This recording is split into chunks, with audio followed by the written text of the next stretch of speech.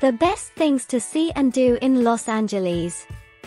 Los Angeles is the second most populous city in the US and one of the most visited cities in the world.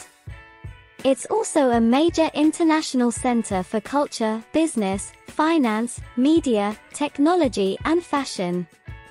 In fact, Los Angeles has more than 100 neighborhoods and each is worth exploring on its own terms. But we've put together this list of our favorite things to do in Los Angeles that should help you decide where to go, or what to skip, when planning your next trip. The Getty Center. The Getty Center is a great place to visit if you like art. It's located in the Santa Monica Mountains and has many stunning works of art on display, including those by Vincent van Gogh, Pablo Picasso, and Henry Moore. The Getty Center also hosts an impressive collection of ancient Egyptian artifacts as well as artwork from other cultures around the world. If you're looking for something more interactive than just looking at paintings or sculptures though, the Getty also has several exhibits that will give visitors opportunities to learn about various subjects through hands-on activities like creating mosaics or making pottery. You can even get married there. Whether it's being married or just visiting this beautiful museum alone, there are lots of ways to experience one of Los Angeles' best attractions. The J. Paul Getty Museum is free all year round so why not give yourself some time off work today?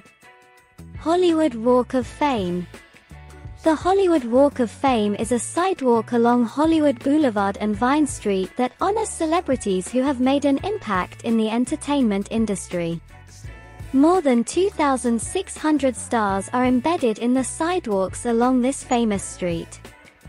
The stars range from those who were born in the city to those who were born elsewhere but became major figures in their field of work. Griffith Observatory The Griffith Observatory is a popular tourist destination in Los Angeles, California. It was built in 1935 and is home to the world's largest working refracting telescope, a large telescope that uses lenses instead of mirrors. The observatory is open to the public for free, with guided tours available every hour on most days of the week. The observatory offers visitors a chance to see some amazing views of Los Angeles at night or during sunrise or sunset hours. If you're staying nearby, take advantage of these opportunities. Disney Concert Hall The Disney Concert Hall is located in downtown Los Angeles and was designed by Frank Gehry. It's the home of the Los Angeles Philharmonic Orchestra, which performs here regularly. The hall also hosts other events like concerts, dance performances, plays and lectures throughout the year. In addition to its regular performances schedule, there are also special events such as New Year's Eve parties or holiday concerts that have been known to attract thousands of people each time they happen. Hollywood Sign The Hollywood Sign is a landmark that you can see from miles away. It was originally erected in 1923 as a way to advertise the release of the jazz singer, but it's now become an outdoor destination for tourists and locals alike. The sign stands at an elevation of 3,264 feet above sea level and spans approximately 2 acres with 200 feet in height, about half a football field. The letters are made up of over 900 panes of glass in each letter, so they're very transparent. You'll need to wear sunglasses if you want to take pictures inside them. To get there, take Interstate 5 northbound until it intersects with Sunset Boulevard just before Dodger Stadium begins its run through Los Angeles' famous Glow Stick Alley.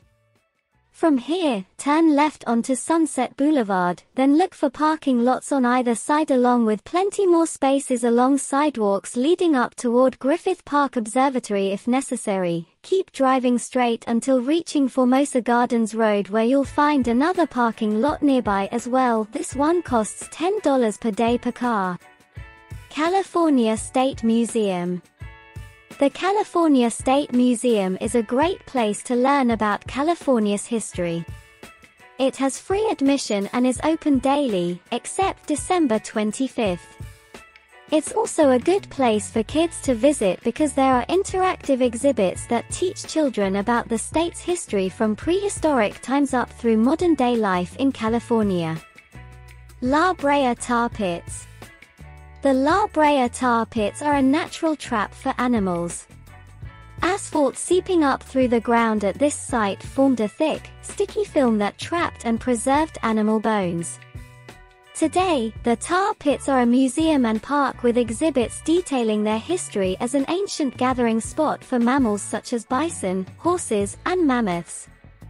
The tar pits preserve many different types of animals, including some never seen before in nature that were killed by these traps, mammoths, saber-toothed cats, they ate each other, giant ground sloths, dire wolves, foxes, coyotes, American black bears, which are indigenous to North America, badgers, of which there are five different species. These animals would have been eaten by predators besides humans like wolves or lions who lived near them but didn't have access to this unique environment until recently when human beings started developing towns nearby which led these predators closer than ever before. Pacific Coast Highway, PCH if you're looking to get away from the city and enjoy some beach time, drive along California's Pacific Coast Highway, PCH. This scenic route stretches along the coast from Los Angeles to San Francisco, taking in some of our state's most beautiful beaches and towns along the way. Stop at Playa del Rey Beach, located just south of Lax Airport. This public beach has soft sand and calm waters perfect for swimming or lounging by day or night. You'll also be able to find plenty of restaurants offering fresh seafood dishes like mahi mahi tacos at La Mariscada restaurant near their pier where diners can watch boats pass by while enjoying cocktails on their patio overlooking the ocean. Check out Torrance Beach, located just north of Lax Airport in a small enclave called Marina del Rey, which means harbor in Spanish. This public beach offers walking paths that lead into shallow water so that visitors can explore its natural ecosystem without getting too wet if they're afraid of getting their feet wet.